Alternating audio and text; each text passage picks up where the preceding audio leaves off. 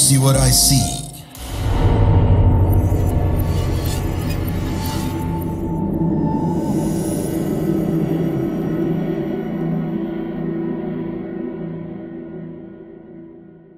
Halo warga Desa Sukawedi, Assalamualaikum warahmatullahi wabarakatuh. Kembali di studio. Ini episode spesial banget karena nggak nyangka gitu ya. Kemarin sempat ngobrol sama tamu kita kali ini, lagi chattingan, tiba-tiba kejadian lah hari ini. Langsung mereka berdua eh, hadir di Do You See What I See. Kita sapa dulu dong. Tidak lain dan tidak bukan Bang Joko Anwar dan Mbak Putri Ayodia. Bang kita nunggu udah nunggu-nunggu diajak Hai. podcast ya, Put ya. Iya, kita begitu ditanya langsung bener Ayo. nih, serius nih gitu. Oke langsung set aku kirim. Tunggu langsung set. Besok buset. Gue jadi bilang cepet jadi banget. ceritanya eh, kalau Bang Joko nggak usah ditanyain lagi ya Eh, udah udah udah kita pernah ngobrol dan pasti teman-teman juga udah nonton ini eh, semua filmnya Bang Joko nggak mungkin nggak pernah nonton filmnya Bang Joko yang mana pun sampai eh, ya udah ya nggak usah dikenalin lagi nggak perlu lah Eh, terima kasih Bang Joko udah main ke Sama-sama, Diusi terima kasih udah diundang. Senang banget ada di sini. Dan Mbak Putri, Mbak Putri Ayudia ini unik banget karena dalam beberapa kesempatan kemarin sempat promo film juga dan baru tahu kalau ternyata Mbak Putri ini temen SMA satu alma mater Iya. di SMA 70 dan eh, kemarin kita selalu janjian beberapa tahun belakangan dan tidak pernah bisa karena Mbak Putri ini selalu main di semua film horor yang ada di Indonesia. Lah, Emang ya, Put? Enggak semuanya Nggak lah. semua. Bang. Kayaknya hampir Pilih-pilih. semuanya deh. Pilih-pilih. Kalau ditawarin tapi ada abang yang nawarin, sorry udah ada abang kayaknya masuk top priority gitu. Ah, Jadi, pasti aku aja pengen banget diajak jadi tukang bakso lewat nggak apa-apa itu. nah, bang, ada penawaran bang. Dan aku semua film uh, horor yang Oke. ada Putri Ayudianya aku nonton. I see. Hanya untuk melihat Putri Ayudia. Ya, saya juga. saya juga. Ya terima kasih Mbak Putri dan Mas Joko. Nah kali ini kita mau cerita-cerita sedikit nih sama warga desa Sukawedi. Kita nyebutnya warga desa Sukawedi. Sukawedi. Warga desa Sukawedi. Karena mereka suka bergosip, Suk- bergibah hal-hal yang goib gitu ya. Dan film yang besok tayang, nih berapa hari ini? Tanggal 8, berarti dua hari lagi ya? Tiga Eh, hari lagi. Tiga hari lagi. Tiga hari lagi. Di Lebaran hari kedua. Hari kedua. Nah ini kan antisipasinya kayaknya udah beribu-ribu tahun lalu bahkan sampai Bang Joko rela nggak berangkat ke Hollywood. Ceritanya kan berit beritanya kan kencang banget tuh. Tentang siksa kubur yang eh, nanti kita tampilkan juga apa namanya trailernya ya. Ya. Dan ini kan kayaknya aku agak recall dulu satu apa namanya satu film pendek ya Bang Joko. Iya. Film Tahun pendek. berapa tuh Bang Joko? 2012. 2012. 2012, betul. Bener nggak sih eh, film Siksa Kubur yang ada sekarang ini adalah eh, lanjutan atau development dari Yang film pertama. cerita pendek yang dulu? Betul. Jadi karena ada cerita di film pendeknya Hmm? tentang seorang pembunuh serial yang eh, masuk eh, kuburan dan disiksa. Ternyata Hmm? ketika film itu berlangsung, cerita film pendek itu berlangsung, di atas ada yang lewat dan ngerekam suara siksanya. Real, Begitu. real story, mas. Bukan. Oh, Terjadi- terjadilah- Kira-kira ini Makanya film terjadi-. Gara-gara. Makanya terjadilah cerita di eh, siksa kubur yang film Oke, panjangnya. gitu. iya iya iya. iya. Hmm. gitu. Jadi karena terjadi cerita di Grave Torture film pendek tahun 2012, terjadilah cerita di film panjang Sisa Kubur 2024 gitu. Oke, jadi sebenarnya film yang 2024 ini memang sudah dipersiapkan sejak 12 tahun yang lalu itu. Sudah kita pikirkan bagaimana caranya untuk mengembangkan menjadi film panjang. Sejak film Ah. pendeknya ternyata viral kan pada waktu itu. Mm-mm. Eh, sampai sekarang juga masih dibicarakan. Eh, kita berpikir bahwa ini bukan cuman film yang menarik sebagai film horor, tapi mungkin film yang berbicara lebih gitu tentang dosa, tentang dosa. Jadi ini film hidayah atau film horor, mas? film horor psikologi. Horor psikologi. Ya putih horor psikologi. Horor psikologi. Boleh dikasih ini di- dikit Bang Joko tentang yang sekarang? Jadi eh, siksa kubur ini bercerita tentang seorang perempuan Mm-mm. eh, yang menyaksikan kedua orang tuanya meninggal Oke. akibat akibat bom bunuh diri atas nama agama Hmm. sehingga dia eh, besar sebagai orang yang membenci agama dan ingin membuktikan agama itu tidak ada dengan cara membuktikan siksa kubur itu tidak ada. Caranya gimana? Oh, Oke. Dia mencari orang yang katanya berdosa banget dan sudah pasti akan dapat sisa kubur kalau sisa kubur itu ada dengan cara masuk ke kuburan orang ini ketika dia meninggal gitu. Oke. Jadi leb- eh, kalau Pembuktian saintifik terhadap eh, naskah agama gitu ya. pembuktian logis dia Pembuktian dia logis, ya. ingin mengikuti logika menurut dia. Menurut dia. menurut oke. dia. Dan em, kalau biasanya film horor kita berkutat dengan setan, Mm-mm. iblis. Nah ini lebih, ini setannya nggak ada tentunya. Eh, ini lebih ke psikolo, psikologi, horor psikologi dan internal fear, ketakutan yang ada dalam diri kita sendiri, gitu. Hmm. Karena apa? Karena em, ketakutan kita ketika kita percaya bahwa eh, siapa pun nanti ketika meninggal akan mendapatkan balasan atas apa yang diperbuat gitu. Hmm. Jadi itu yang digali. Kalau dalam. Islam kan kalau kita tidak cukup beriman, tidak berbuat baik dan banyak dosa ketika hidup, ketika kita masuk kan kita akan ditanya oleh dua malaikat mungkar dan nakir. Hmm, hmm. Marobuka siapa Tuhanmu dan sebagainya. Kalau misalnya kita tidak cukup beriman dan melakukan banyak dosa ketika kita hidup, katanya kita tidak akan bisa menjawab, Hmm. ya kan? Sehingga kita akan disiksa, dapat siksa kubur. Pertanyaan yang digali di film Siksa Kubur ini adalah kenapa mereka tidak bisa menjawab gitu.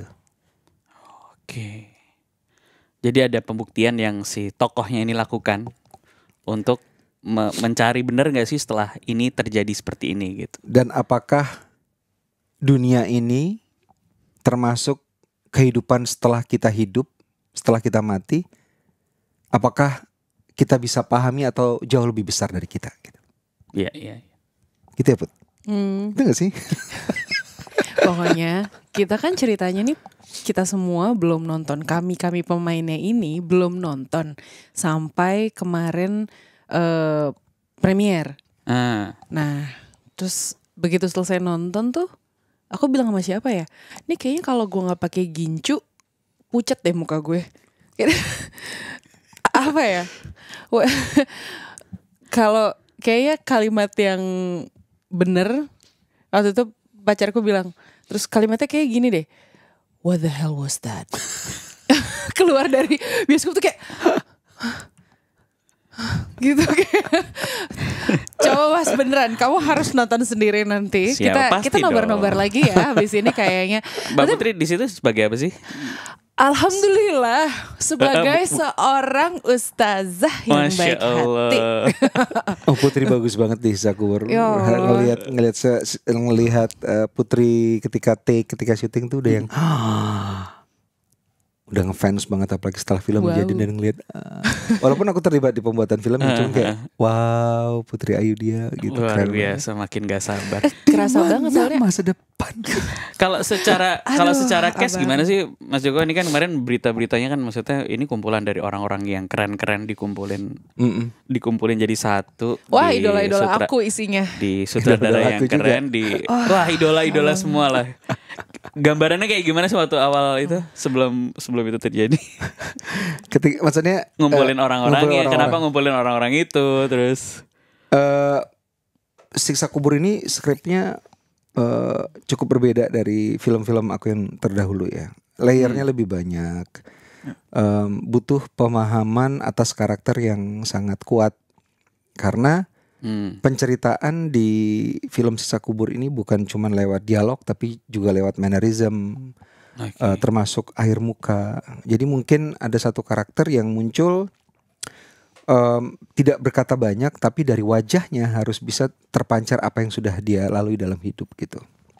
Oke. Jadi jadi kalau misalnya diperankan oleh orang-orang yang eh, s- tidak luar biasa talented mungkin tidak akan tercapai. Dan bersyukurnya kita di Kamensi Pictures bahwa orang-orang yang sangat berbakat terbaik di eh, dunia peran Indonesia ini mereka mau menyumbangkan talenta mereka. Ya siapa yang mau, mau sih? mau meminjamkan mau meminjamkan talenta mereka untuk menghidupkan karakter-karakter di siksa kubur. Dan Alhamdulillah kemarin ketika gala premier komentar-komentarnya ya pemain-pemainnya yang luar biasa bisa menghidupkan karakter dan melihat mereka aja udah udah cukup gitu. Nggak perlu ada jump scare, nggak perlu ada hal-hal lain yang spektakuler melihat aktor-aktornya aja yang wah gitu. Iya sih. Enggak sih bang, itu- spektakuler bang, bukan aktornya doang bang. Jadi emang benar-benar film lebaran sih semuanya ngumpul Iya, ya kan. iya, iya, Silaturahmi semua orang-orang keren yang ada dari Amin, Aduh ya ampun gak sabar banget. Kalau dari sisi tadi kan bilang ini eh, film film yang memang nggak ada setannya. Tapi kan orang eh ya netizen kita, eh, penonton kita tuh mengantisipasi ini sebagai film horor yang ya Bang Mas Joko ini selalu terkenal sama film-film horornya yang luar biasa gitu. Mm-mm. Apa sih eh, kemasan seperti apa sih ketika ini tadi eh, psikologi thr- thriller misalnya ini adalah film yang berbalut sebenarnya eh, message yang nanti saya juga pengen tanya message kayak apa tentang agama dan siksa kubur. Nah, ini horornya kayak apa gitu. Horor horor yang dimunculkan ini sebenarnya kemasannya kayak apa? Kalau Putri pas nonton kemarin di gala premier jadinya seperti apa Put? Eh, dibandingkan dengan skenario yang udah Putri baca gitu. Pertama baca skenario nya, skenario itu bagus banget. Hmm. eh apa ya definisi bagus tuh satu kita bisa membayangkan tokoh-tokohnya hidup. Mungkin pandanganku dari eh, tokoh ya dari karakter gitu. Karakter-karakternya tuh real dan punya kerasa kayak manusia real gitu menurutku. Setiap kita baca naskah aja, tiap tokoh tuh udah punya karakternya. Karena sering kali eh, pengalamanku baca naskah kayak semua tokoh tuh rasanya sama. Hmm. Bahasanya tuh bahasa penulis gitu. Nah, satu sementara orang yang membahasakan satu orang yang macam- membahasakan semua tokoh gitu. Nah ini tuh aku ngerasa bahwa setiap tokoh tuh udah punya kehidupannya sendiri. Satu itu. Terus em, pada saat nonton bener harus nggak bisa kedip sih kayaknya. karena Tapi- saking spot jantung ya. Excited ya nontonnya Excited. tuh kayak kita ngerasa ini very engaging soalnya. Ah. bukan karena kan mungkin ada yang kita nggak kita harus nonton karena kayaknya kalau kita ngelewatin jadi berat gitu enggak ini tuh bukan berat bukan tapi engaging dan satu hal membantu kita untuk lebih terlibat dan semakin dalam Hmm. terlibat sama tokohnya maupun ceritanya di naskah seperti itu begitu jadi oh gini jadinya gitu dan yang Maksudnya paling baru baru ketahuan setelah nonton Nah, gitu. yang menarik kita kan suka aku juga suka baca naskah naskahnya gini jadinya tuh oh beda sama naskah gitu Ah. Nah, Eh, beberapa kali punya project dengan Bang Joko Bang Joko tuh orang yang setia sama naskah sebenarnya Hmm. dan kita ya karena Bang Joko nulis juga dan nyutradarain juga jadi kita tahu betul bahwa hmm, semua itu hanya bisa terjadi kalau plannya benar Iya. Nah, aku merasa setiap kali bekerja dengan Bang Joko tuh plannya tuh udah bener dari awal. Sehingga eh, apa yang terjadi di layar tidak keluar dari sini, tapi gitu ya jadinya gitu. aku sampai gak bisa ngomong karena ada ada ada teks yang kayak ini gimana cara bikinnya gitu loh. Kita kalau baca naskah dan naskahnya bagus Di, di dan bagian kayaknya, apa kata-kata tadi ini gimana cara bikinnya tuh? Aku jadi pengen tahu ah, ini part part apa nanti ya? karena udah Tanpa- banyak diomongin karena Oke, udah ba- oke. udah banyak postingan soal itu sepertiga terakhir Sepertiga terakhir. sepertiga terakhir eh waktu-waktu penting seperti sepertiga malam kita bangun ya itu ya gitu kayak di ek-ek terakhir gitu. gawat sih tapi sepertiga bayangin film kan Iya. sepertiga jadi kayak hah, hah, hah, gitu. Padahal kan kita baca naskahnya kita baca naskahnya kita ikut prosesnya. Meskipun yang menarik adalah tokoh di tempatnya Bang Joko tuh banyak. Dan kalau kita syuting kita sering kali Hmm. bahkan nggak ketemu satu sama lain karena orangnya banyak banget dan banyak subplot yang ngebangun plot utamanya. Mm-mm. dan semua peran penting. Kita tahu filmnya Bang Joko nggak pernah ada yang hadir tanpa ada maksudnya. Nah, Iya ini juga seperti itu. Ketika kita nonton, ketika kita lihat, loh, astaga, oh gitu. That's the reason why Hmm. peranku harus ada di situ. That's the reason why ketika eh, Bang Joko ngedirect dan bilang itu interpretasinya benar coba kita lakukan dengan cara yang ini gitu. Ketika Hmm. dilakukan dengan cara yang lain, oh now I understand. Begitu nonton, oh aku tahu kenapa aku harus mainnya ke arah yang itu bukan ke arah yang satunya. Meskipun kayak mirip tapi keluarannya tuh jadi beda banget. Yes, Kayak yes, misalnya yes. sama sama abang tuh cepet banget syutingnya. Bisa satu kali satu scene tuh tiga kali take beres. Tapi tiga kali tuh bisa beda semua gitu. Sampai kita sampai kita bener-bener dapat apa yang paling tepat. motivasinya untuk yang dita- ditampilkan nanti gitu ya. Betul. Untuk kemudian ngejahit filmnya dan semuanya jadi piling up sesuai dengan kebutuhan film dan hasilnya ya sepertiga akhir itu yang gawat itu. Ini kan gawat semua ya tadi Iya. eh, cara mainnya gawat, artis-artisnya gawat. Ada nggak sih eh, kalau kalau Mas Joko tuh kan aku nonton bahkan kemarin tuh kita baru nonton ini ya. Nih kameramennya nih anakku nih Kiana. Jadi kita sampai nonton eh, Pengabdi Setan satu, terus dua, terus sampai kita oh ini maksudnya. Ini setelah sekian kali nonton, ber- udah berapa kali kita nonton mas? Tapi oh lo kok lo kok ini nggak nggak ketangkep waktu nonton pertama? ini nggak nonton nggak Kayaknya itu bakal terjadi juga di sisa kubur deh. Iya. Banyak Nah, orang jadi- yang bakal seperti itu. Jadi apakah Mas Joko ini sengaja ada nggak sih message-message yang simbolik lah biasanya kan ada yang simbolik-simbolik gitu. Ada yang nggak sih yang di, ditanamkan untuk nanti oh ini kalian warga desa Sukawati harus nonton dua kali tiga kali untuk mencari tahu mana ya gitu. Aku tuh eh, pertama sangat menghormati penonton, sangat menghargai penonton dan menganggap mereka bukan penonton yang hanya mau dicekokin gitu. Either dicekokin cerita, dicekokin apa yang ingin aku katakan secara gamblang gitu ya. Eh, aku eh, menganggap pa- para penonton itu em, adalah orang-orang cerdas yang kepingin masuk ke dunia filmnya dan mengulik sendiri tanpa aku harus jelaskan banget gitu. Makanya kalau bikin film biasanya ada dua bagian, ada dua kelompok eh, penonton tuh. Ada yang bilang apaan sih nggak jelas gitu, atau ada sesuatu yang kemudian mereka cari tahu, eh, either mereka pikirkan lagi setelah keluar nonton atau mereka diskusi dengan teman-teman atau mereka nonton lagi seperti Mm-mm. seperti kalian dan dan akhirnya oh iya itu gitu. Tapi eh, sebagai juga pencinta film, film buff banget dan eh, nonton banyak eh, sekali film dari kecil. Setiap kali aku nonton film yang pas keluar tuh ada sesuatu yang nyangkut dan kayaknya aku Harus. pikirin terus itu kenikmatan luar biasa karena aku bayar tiket bukan cuman untuk experience satu setengah jam dua jam dalam bioskop, tapi Masih harus, afterwards iya. gitu.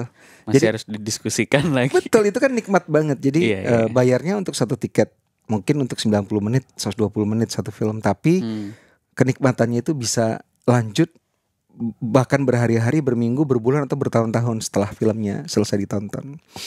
Dan itu yang aku eh, ingin lakukan termasuk juga di film Siksa Kubur dan em, kalau Siksa Kubur mungkin layernya lebih banyak lagi Hihi, berarti Lebih banyak, banyak. yang hidden lebih banyak bukan dalam hal kayak Easter egg aja atau Heeh. simbol aja tapi memang bagaimana ceritanya itu berjalan sampai akhir terutama kata Putri yang sepertiga akhir tadi itu itu betul-betul em, mengajak penonton untuk secara kita pernah bilang filmnya interaktif karena memang ada satu momen di mana em, kita diminta untuk bersikap terhadap cerita film itu gitu Nah, gimana satu titik Gimana itu? di mana kita harus bersikap. Kita mau ikut cerita itu atau mau berhenti di situ? Ah. Mau percaya atau tidak percaya sama yang dikatakan apa yang ada di film tersebut gitu. Dan outputnya juga akan berbeda. Jadi perasaan Ah. kita menonton film Sisa Kubur di sepertiga terakhir itu bisa berbeda-beda interpretasinya tergantung kita menentukan sikap kita apa gitu. Iya, iya. Yang ketiga itu. Ketika itu yang jadi pertanyaan itu. Aduh. Kan kemarin sempat bioskop. lihat di di di Instagram yang berseliweran lah ya. Hmm. Itu kan ada reaction teman-teman yang udah nonton pertama gitu. Hmm. Lebih banyak eh, zikirnya katanya. Lebih banyak. Apa sih sebenarnya yang mau dimunculkan? Eh, ini bukan bukan bener sama sekali bukan ketakutan ya. Tapi ketakutan maksudnya ketakutan yang biasa kalau kita alami ketika nonton film horor. Tapi ini ketakutan yang Enggak ya? Enggak, enggak, enggak. malah lebih takut sama Allah gitu. Iya, mungkin siap waktu itu abang kayaknya yang bilang deh, dan aku setuju banget. Biasanya kalau kita eh, nonton film horor, Hmm. bikin kita takut sama hantu, sama setan gitu kan. Hmm. Ya ini bikin takut sama Tuhan. sih. part eh, dakwah Salah satu. itu kalau misalnya sikapnya itu itu salah satu yang dihasilkan dari sikap yang satu. Ada juga kalau kalau Iya, iya, iya. kalau memutuskan bersikap seperti apa mungkin beda lagi. Bener, bener, jadi bener, sebenarnya eh, part bagian dari film-film hidayah ya berarti ya Bisa jadi film Bisa, hidayah. bisa jadi film hidayah. Bisa jadi film lain juga. Bisa jadi yang lain, tergantung Nah, yang lain, nah, penyikapannya. itu yang- Tergantung lain menyikapan betul. Bener. oh gitu ya Ada satu Iya. momen pokoknya ada satu momen di mana kita diminta untuk berinteraksi sama filmnya, menentukan sikap gitu. Jadi kan eh, kaitannya sama kemarin yang lagi rame itu ya di postingannya. Maksudnya banyak mengeksploitasi eh, agama misalnya jadi eh, simbol-simbol agama kan siksa kubur kan juga sebenarnya simbol bukan simbol agama tapi memang sesuatu yang di- dijanjikan akan terjadi kalau begini-begini. Kita nggak ada ya. Seben- Unfortunately bentuk bentuk religinya bukan seperti itu sih. Nice ya. Hmm. Apakah Mas Joko ketika menulis ini juga ada riset-riset yang deep tentang agama ini? Kan si karakter ini kan tadi kan harus menentukan kan? Saya mau membuktikan dengan cara logika dengan uh, pemahaman agama yang dibawa oleh orang tuanya dulu. Terus dalam penulisan ada nggak sih uh, Mas Joko ini riset dari sisi itu? Kita selalu riset kalau misalnya bikin eh, film dari mulai penulisan skenario. em, pro- yang kita riset itu adalah kalau misalnya mengangkut eh, satu pemahaman yang sudah ada, Iya. termasuk agama, Mm-mm. itu kita riset. Risetnya bisa langsung bertemu dengan orang yang lebih paham agama ketimbang ti- kita atau dengan kajian. Kajian kan sekarang gampang Iya. eh, untuk didapat ya. betul Yang kedua, semua profesi yang ada di dalam sebuah film itu harus diriset. Apakah itu dokter, guru, wartawan, pokoknya Iya. eh, profesi membutuhkan skill khusus dan kita tampilkan di film tuh harus di em, di, di riset gitu supaya benar. Em, intinya adalah menciptakan sebuah dunia yang believable karena semuanya terasa real gitu. Yap. Jadi riset banget. Bertahun-tahun tuh risetnya. 12 tahun loh. Dari sekian banyak tadi kan eh, apa namanya udah persiapannya terus ak- aktor-aktornya terus tadi juga ada yang mungkin ada yang hidden-hidden segala macem. Kemungkinan nggak sih ini bakal eh, berlanjut antisipasinya aja kira-kira. Berlanjut eh, ceritanya. Ah, ah. Apa apakah ini sesuatu cerita yang udahlah udah udah selesai gitu. Jadi ketika nonton ya udah eh, nggak berharap ada Mungkin nggak kalau aku em, untuk sisa kubur ya. Mm, mm, mm. Seperti yang aku bilang, film Sisa Kubur ini jauh lebih banyak layarnya ketimbang film-film film-film aku terdahulu. Jadi Mm-mm. em, mungkin pembahasan diskusi tentang ceritanya aja akan lama gitu. Jadi biarin orang nebak dulu ya. ngobrol dulu Ngobrol lah, dulu. baru dipikirin. Kayak berlanjut jadi film lain deh bang. Curiga saya. Film series Hidayah panjang banget ini. Wow. Soalnya abang pertanyaannya gini, apa film abang yang tidak berkaitan satu sama lain? Iya sih. Iya ya, selalu Ya maksudnya ketika orang Iya, bilang betul. ada Joko Anwar Universe, betul juga. I think it's it's our job to find out apa saja hubungannya gitu kan. Nanti bahkan dalam trailernya saja udah dikasih bocoran apa kaitannya dengan film lain. Mm-mm. Nah, itu coba kita tonton lagi nih. Ada Iya ada shotnya, ada shotnya. Ada, shotnya. Ada ada trailer aja udah ada hubungannya. Ada ada Kelihatan banget dan terus kayak jeng jeng jeng gitu. Ada langsung. Penasaran gak? Penasaran Aku baru nggak? nonton trailernya sekali soalnya. Jadi harus Uh, diulang-ulang lagi. silakan. Di trailernya aja harus diulang-ulang. Trailernya aja ada. Apalagi Oke. filmnya. Kalau dari sisi kemasan horor, Mas Joko, ah, misalnya sound ya. Yes. Kan biasanya Mas Joko tuh eh, nanemin ya sesuatu yang bikin traumatik gitu ya. ya benar benar benar. Bang bikin trauma kok bang. Bikin bikin nyetel Soundnya nyetel, oke. Soundnya oke. nyetel lagu lawas aja eh, maksudnya nyetel lagu itu udah langsung set gitu kan. Oke. Di siksa kubur kayak apa nih? Uh, Di Siksa Kubur sound eh, ya audio visualnya ya eh, itu mengambil peranan penting dalam storytelling. Jadi bukan cuma gambar bagus, gambar indah secara estetika, tapi bercerita. Oke. Kalau dari em, visual, eh, misalnya semuanya dipersiapkan terlebih dahulu untuk menimbulkan eh, rasa bahwa penonton itu ada di tengah-tengah pemain. ada di tengah-tengah kejadian. Apakah berjalan bersama pemain di sampingnya atau di depannya, di belakang mengikuti ketika Sita dan Adil masuk ke terowongan pakai center gitu. Bahkan eh, eh, pencahayaan dan lensa dipilih kombinasinya sedemikian rupa sehingga arah mata itu ke mana? Gitu Oh, iya. bercerita. Kita arahkan matanya. Kalau dari segi sound kita berbicara tentang internal fear kan di film Iya. sisa kubur seperti yang aku bilang. Jadi bukan ketakutan karena ada hantu ada apa gitu tapi sesuatu yang dari dalam diri. Sehingga dari segi sound dan musik itu kita desain sedemikian rupa sehingga terasa seperti yang ada di internal tubuh manusia yang Hmm. pertama yang paling bisa Dan dirasakan degup ya. jantung ya. Jadi semua eh, sound design dan musik itu mem- meng- me- mengacu ke heartbeat dan dimulai dari eh, heartbeat gitu. Dan ada beberapa eh, waktu kita menggunakan eh, sound wave yang Mm-mm. eh, mungkin bisa sinkron dengan otak Infrasound, manusia dan kita osilasi sedemikian rupa Em, sehingga bisa masuk banget ke kepala gitu ketika ketika nonton filmnya. Yep. Terus em, soundnya sangat organik banget. Eh, bahkan musiknya itu banyak sekali tidak menggunakan instrumen atau sound instru- instrumen, tapi em, sound-sound yang organik yang ada di dalam di dunia ini. Eh, Iya. Jadi eh, eh, musik director kita Gina Rotama dia sampai pergi ke beberapa, beberapa kota termasuk ke Inggris untuk merekam suara yang ada di kehidupan sehari-hari Hmm. suara kereta bawah tanah, suara eh, paku bumi Hmm. di eh, konstruksi konstruksi bangunan, suara angin, suara eh, apa pun yang ada di dalam kehidupan sehari-hari di engineer sedemikian rupa sehingga menjadi eh, rhythm. Nah, Itu yang dipergunakan untuk untuk jadi musiknya gitu. Now Jadi it makes sense. jadi it feels very organic. Eh, musiknya itu juga adalah karakter dalam dalam film Sisa Kubur gitu. Jadi harus milih eh, studio yang bagus emang.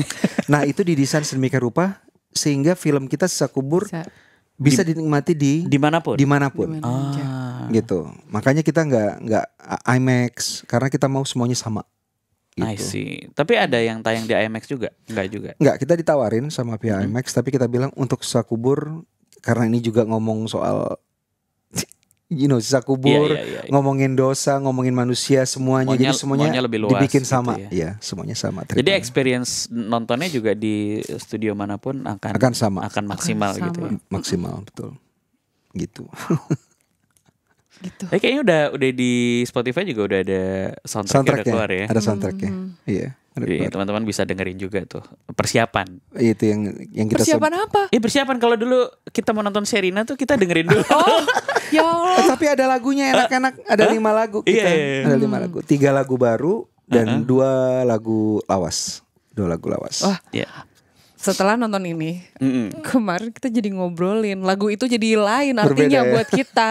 Ah, abang, tapi cuman- tapi tapi mungkin dari dulu itu artinya seperti itu. mungkin Air mengalir sampai jauh itu jangan artinya apa? permainkan pikiran Apa dong? Kami. Jelaskan sedikit Lagu atau harus nonton kita dulu? pakai lagu Bengawan, Bengawan Solo. Solo. Kan sebel ya. Lagu- Kayak, buat aku Bengawan Solo punya punya punya dan Mem- kita nggak siap. Memori yang berbeda. punya memori gitu. yang berbeda. Sebagai orang Solo ya, Iya. kita sering sekali dengar lagu itu. Terus kita tuh nggak siap karena lagu itu nggak ada pas syuting. Betul. Ih sebel deh. Ada ada ada di adegan Pak Wahyunya ada. Oh di aku nggak ada. Iya. Aku Kalau kalau syuting itu musik-musik yang dimainkan nggak akan nggak akan ketahuan ya, belum tahu ya. Biasanya eh, untuk beberapa adegan aku juga minta musik directornya untuk bikin Ah, musik dan sudah diperdengarkan. biar gitu. dapat moodnya. Betul. Khusus Yeah. untuk eh sisa kubur kan kita pakai lagu Bengawan Solo ya. Hmm. Bengawan Solo itu menurut aku liriknya indah banget karena apa? Indah, Bang. Indah dan menurut aku liriknya itu bukan hanya sekedar tentang sungai. Bukan. Air mengalir sampai jauh itu kalau menurut aku ya, dari dulu aku merasa bahwa ini tentang deeds. D E D Ah. eh, perbuatan. Ya. Either perbuatan baik atau perbuatan buruk itu akan mengalir sampai jauh. Jariah. Betul. Itulah. Tapi nggak ke sana bang, pikirannya tadinya bang. Terus kita kayak begitu kan, tunjukkan di bubu nih. Soalnya pas nonton tuh gini, begitu, eh bener dapet lo lagu ini gitu loh mikirnya maksudnya apa pun Tapi yang ada di aransemennya sama aja. Aransemen lama. Ada dua, ada Oh, dua. gitu. Iya. Oke. justru karena itu kan kayak ini kan yang biasa kita denger ya agak kayak ah why gitu wah keren banget sih yang ini juga sama eh, Opik ya Yes. lagunya Opik untuk Iya. di trailer itu tapi aku tuh waktu bareng sama Runi eh, Runi Rudianti, Rudianti iya. Mm-mm. Salah satu Eh, pemain kita. salah satu pemain kita very talented um, very smart very intelligent woman dan kita sebelahan nih ceritanya lagi nonton begitu tayang trailernya kita juga nggak lihat trailernya dari awal jadi lihatnya sama pas lagi peluncuran trailer. Begitu lihat kita gini. Lagu ini lagi. Terus aku pikir begitu keluar kan ini kayak ini aku aku yang lebay atau gimana? Nengok lihat Runi Runi lagi berkaca-kaca. Terus oke terus kan gitu putar lagi nggak? Putar lagi nggak? Lagi. Mati gue. Gitu kayaknya. Aduh kelar sih. Karena ya bener kupikir em, lagu lagu-lagu yang dipilih abang tuh lagu-lagu yang tepat. Karena ini film yang yang harusnya masuk ke siapa-siapa sih? Siapa aja. Meskipun judulnya siksa kubur bukan hanya ngomongin umat Islam gitu. Iya, iya. iya. meskipun kepercayaannya kita tahu ada di umat Islam tapi teman-temanku yang non Islam kemarin ketemu juga buat gitu. Gue nonis sih gue tahu lu nonis gitu. Tapi tapi ini gue kena sih gitu. Oke oke. This is very interesting. Karena aku rasa filmnya emang berbicara tadi soal perbuatan soal konsekuensi sesuatu yang kita tahu nggak usah nunggu nanti di dunia aja ada gitu konsekuensinya tapi nggak selesai di sini kan Iya.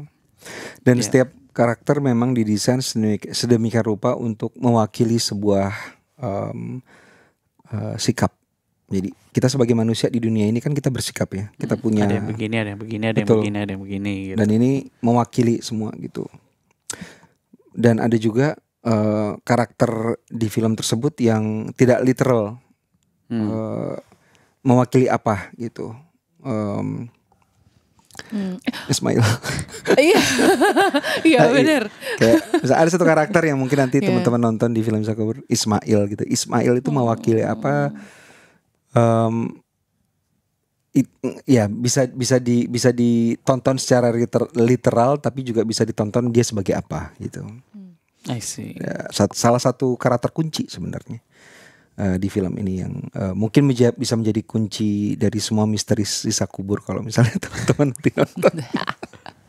yang menarik eh, kalau tadi abang ngomongin soal sikap aku merasa ada tokoh yang justru kesulitan mengambil sikap dan Yes. ini jadi jadi tokoh yang penting di bukan punya bukan cuma penting screen time-nya banyak banget di film ini gitu Hmm. Jadi dari semua yang ada perwakilannya yang nggak bisa ngambil sikap juga ada perwakilannya. Dan Betul. sebenarnya itu memang banyak banget di dunia ini orang yang kesulitan mengambil sikap. Pasifis. Yes. Ya dengar banyak kanan kiri kanan kiri ya. Di era yang seperti ini juga kan mungkin seperti itu juga. Dengar banyak kanan kiri atau malah nggak mau denger. Ya bisa jadi. Ya. Netizen kan suka bingung juga. Gampang dibakar, ada yang ya. kuat pendirian, ada yang segala macam. tanpa tanpa menyebut siapa dan konotasinya konteksnya apa aktivis pasifis mana yang lebih mana yang lebih baik atau tidak ada yang lebih baik mungkin kuncinya ada di Ismail Kalau warga yang nontonnya harus siapin ini juga nggak sih? Eh, ya siap-siap spot jantung gitu.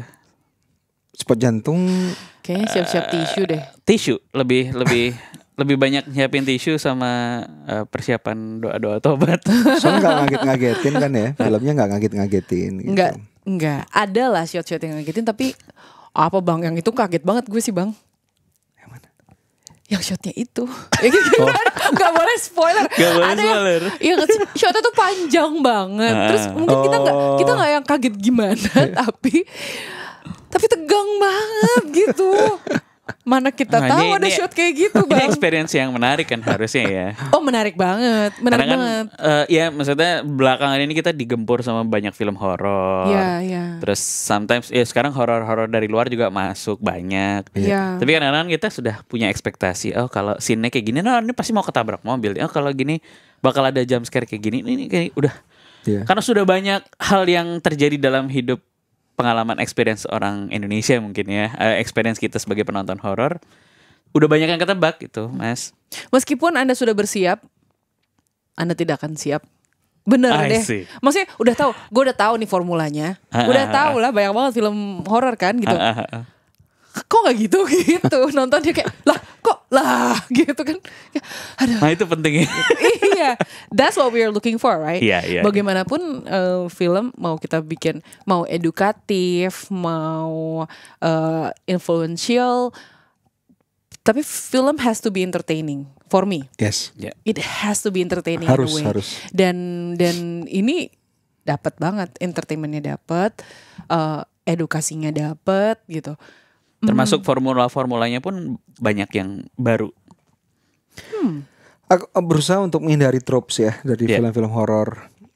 Em, kalau dilihat dari overall filmnya seperti apa, em, karena karena ini ngomongin horor psikologi, em, mungkin kita bermainnya lebih seperti yang aku bilang tadi, bagaimana cara menimbulkan eh, rasa takut secara internal terhadap apa yang sudah kita lakukan gitu, dan akan bermain dengan kepala kita ketimbang dikasih em, eh, visual yang mengerikan gitu. Mungkin gambar kita sih, gambar kita sih enggak yang mencekam gimana, tapi em, efek yang ditimbulkan dari em, Story. keputusan-keputusan yang diambil oleh kara- karakternya itu yang menurut aku eh, lebih eh, jadi nilai jual kita ya. Indah bang. Om Ijal tuh menurut aku gambarnya tuh indah. Tapi Gesal Tanjung bercerita kalau bikin gambar. iya, nggak ada gambar yang wasted. Hmm. Kayak mungkin kita bisa lihat ada gambar oh ini dibikin dengan tujuan sesuatu yang kayaknya kalau ini diilangin kayaknya nggak harus gitu deh gambarnya gitu. Mm-mm. Nah kalau ini Efektif. emang mesti gitu gitu. Ya. Kalau nggak gitu lain artinya. Berapa gitu. menit sih totalnya? Satu jam 57 menit. Oke. Nggak kerasa nggak kerasa Ya nggak kerasa tapi nggak kerasa. nonton harus jangan ke kamar mandi sama sekali. Nggak Kalau- jangan. Nggak boleh kan? Nggak jangan bener-bener jangan jangan. Eh, kayaknya nggak sempat makan popcorn juga deh. Kalau ge- kebelet banget harus beli lagi nanti abis itu. Eh iya kayak kayak iya. Jadi pastikan kita bisa nonton dengan dengan tenang, dengan khusyuk gitu ya. Bener-bener mau ke toilet dulu silahkan, mau. Tapi mungkin beli minum mungkin karena kayak seret gitu kayak gitu. Nafasnya yang Jadi yang harus disiapin jangan beli popcorn, beli tadi beli tisu ya. beli tisu, beli tisu. beli tisu sama beli tapi eh, ya kalau tisu tuh sangat tapi kalau buat aku karena aku kena banget jadi tisu sih Eh, tisu Zikir-zikir sama apa yang harus disiapkan? tergantung Zikir mana yang kamu taubah. merasa paling efektif mana yang kamu hafal itu lebih tepatnya kalau soalnya udah mentok tuh suka "Ah, ayat Pasti kursi banyak aja banyak hilang banyak, banyak gitu istighfar gitu. Oh, iya mm, mm. kalau itu iya sih Ya terakhir eh, pengen tahu nih message message apa sih sebenarnya yang apa message ini sebenarnya banyak. Tinggal ya tadi ya siapa nanti eh, ekspektasinya kayak apa keluarnya atau ada satu tema sentral yang message sentral yang Mas Joko ketika menggarap ini ingin disampaikan ke audiens. Sebenarnya bukan message ya, cuma pertanyaan. Pertanyaan. Mm-mm. Pertanyaannya simpel banget. Sesombong apa kita sebagai manusia? Dan itu worth it apa enggak? Ngeri ya. Enggak message, pertanyaan aja. Ya, diakhiri dengan diam. Ditanya gitu lagi. Aduh, ya ampun, nggak kerasa nih udah berapa menit. Saya nggak ngitung menitnya, tapi ngobrolnya sebenarnya pengen panjang. Tapi karena beliau-beliau ini orang sibuk, jadi kita tunggu aja tanggal 11. Tanggal 11. Mulai Jadi- tanggal 11 Jangan dilewatkan, eh, apalagi ini momen bareng keluarga ya. Barangkali pertanyaannya Bang Joko tadi bisa dijawab. Habis pulang nonton, ya bener kan? Hmm. Habis sholat id, besoknya kita coba kontemplasi. ya kayaknya kalau di hari H nggak ketelan opornya. gitu ya malah gak ketemu. Sekali lagi Mas Joko, Mbak Terima Putri, kasih, sukses Terima kasih. Desa Sukawati.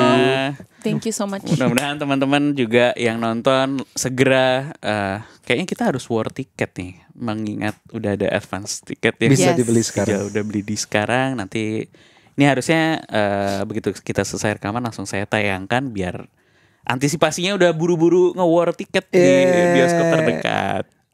Nanti kalau udah eh, teman-teman silakan tag eh, kita nih ada saya Mr. Popo atau podcasthorror.id Mas Joko Anwar, Mbak Putri Ayodia kasih komen setelah nonton eh, jawabannya apa dari pertanyaan Mas Joko tadi. Atau gimana serunya pengalaman nonton kalian?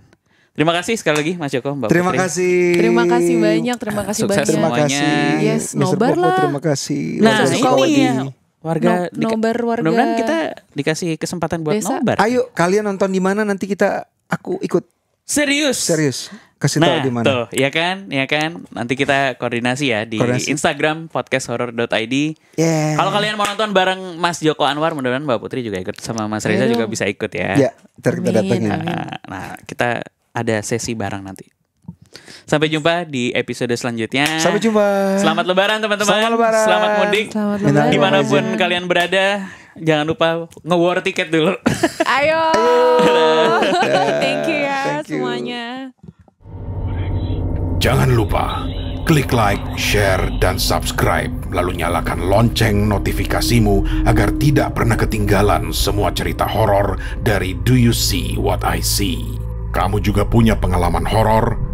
Kirim ke podcast.ceritahoror at gmail.com podcast.ceritahoror at gmail.com